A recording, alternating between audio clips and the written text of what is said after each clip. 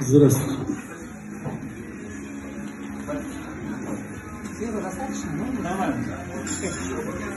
Э, В Иркутске сегодня будет очень необычно. Вот здесь будет то, чего на «Открой ротах» не было никогда. Я заранее приношу извинения перед всеми заинтересованными и не заинтересованными лицами.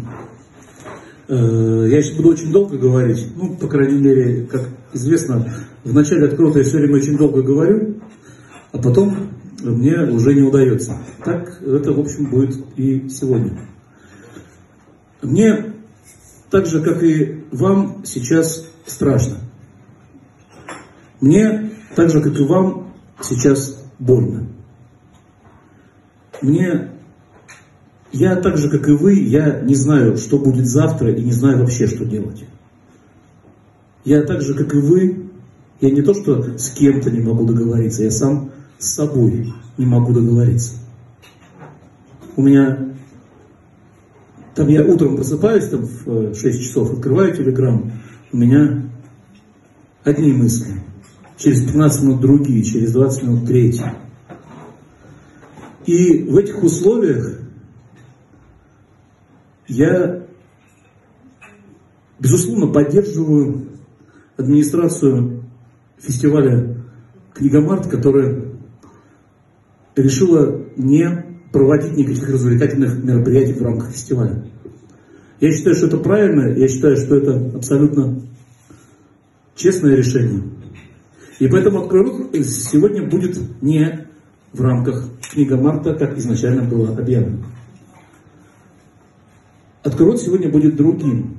Я его как придумал в 2011 году, и в 2011 году появилось правило номер 23, которое гласило и гласит, что правила игры могут меняться по ходу игры. Сегодня будет не то чтобы игра, сегодня будет не игра. Сегодня не будет жюри. Сегодня не будет победителя. Потому что, как известно, победителя быть не может. Я сейчас назову имена тех, э, кто будет сегодня участвовать, потом еще пару слов скажу, а потом сделаю то, чего на открылотах не было вообще никогда. И надеюсь, тоже не будет. Я э, буду называть, а вы, пожалуйста, во-первых, кричите в ответ, а во-вторых, запоминайте, кто перед вами и кто после вас. Это очень важно. Глеб Русин, действующий чемпион Иркутска. Анна Соколова. Ася Зенюк. Алена Качина. Ася Васильева. Роман Ковалев. Александра Соколова. Юлия Полоцкая. Максим Рунский. Людмила Иванова. Анастасия Агапитова. Как? Агапитова, прошу прощения. Причем ударение здесь стоит, это я просто... Э, Вариантов ударения, конечно, Настя, вам, вам повезло. Ирина Перфильева. Вадим Мельников.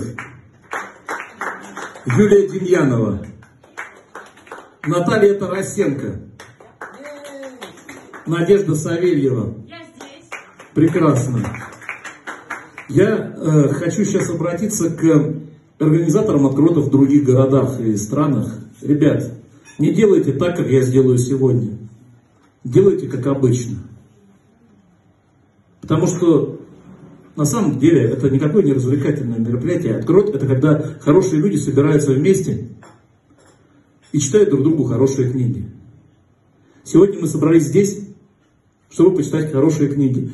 И э, как в свое время, там 11 лет назад, когда я придумал «Открой рот», э, мне 150 тысяч раз спрашивали, как это вам, как это вы придумали? Я говорю, ну как, все хорошее случайно. И вот так, когда я подумал, что совершенно не такой будет «Открой рот» в Иркутске в этот раз, а другой, я совершенно случайно придумал, каким он будет, и совершенно случайно выбрал одну единственную книгу, которую все сегодня будут читать. В ней 27 коротких глав. Поэтому кому-то, может быть, удастся прочитать больше, кому-то прочитать меньше, какие-то главы длиннее, какие-то главы короче. Я хотел сначала наложить закладок, но потом не стало лень, и я передумал. Начнем, э, то есть, э, я почему просил обратить внимание, кто за кем и кто перед кем.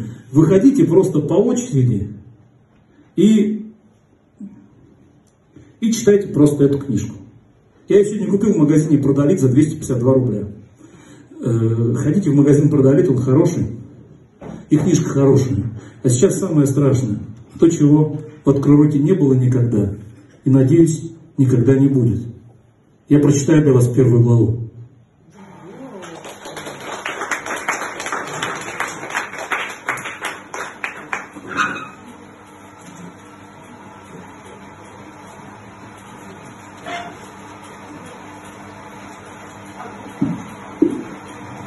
Когда мне было 6 лет, в книге под названием «Правдивая история», где рассказывалось про девственные леса, я увидел однажды удивительную картинку.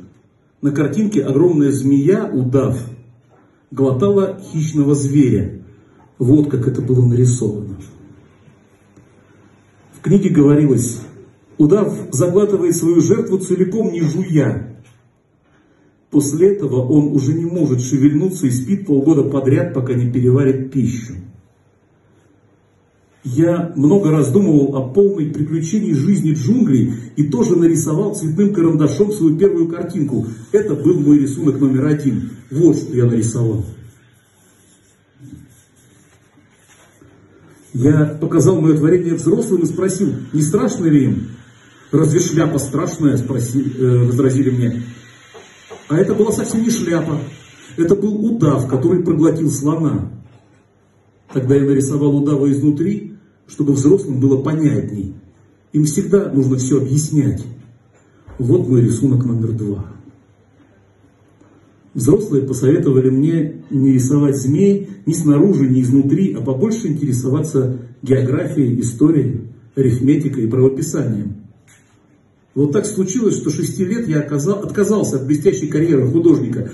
Потерпев неудачу с рисунками номер один и номер два, я утратил веру в себя. Взрослые никогда ничего не понимают сами, а для детей очень утомительно без конца им все объяснять и растолковывать. Так мне пришлось выбрать другую профессию, и я выучился на летчика. Облетел я чуть ли не весь свет – и география, по правде сказать, мне очень пригодилась. Я умел с первого взгляда отличить Китай от Аризоны. Это очень полезно, если ночью собьешься с пути. На своем веку я много встречал разных серьезных людей.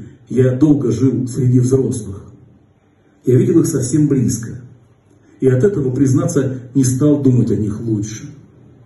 Когда я встречал взрослого, который казался мне разумнее и понятнее других, я показывал ему свой рисунок номер один, я его сохранил и всегда носил с собой. Я хотел знать, вправду ли этот человек что-то понимает. Но все они отвечали мне, это шляпа. И я уже не говорил с ними ни о будалах, ни о джунглях, ни о звездах. Я применялся к их понятиям. Я говорил с ними об игре в бридж и гольф, о политике и о галстуках. И взрослые были очень довольны, что познакомились с таким здравомыслящим человеком. Глеб Русин.